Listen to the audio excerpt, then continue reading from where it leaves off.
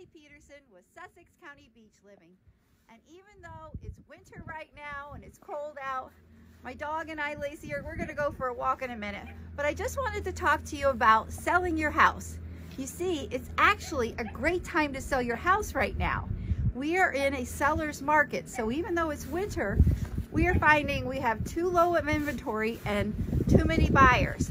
So if you are listing your home, you're in a great place because we see many people bidding on the same property, which means you are oftentimes getting listing price or higher. So I would love to talk with you if you are even thinking about selling your house. I would not wait till the spring or summer. Now is the time to sell.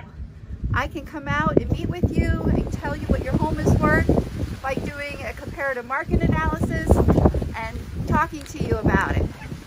So I hope to hear from you. You can private message me or comment below. I'd love to talk with you and give you more details about your home.